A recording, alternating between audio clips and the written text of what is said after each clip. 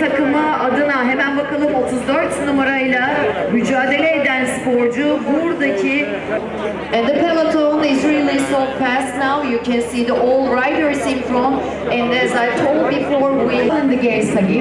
And the best lead for Andrew Greipel during this race is...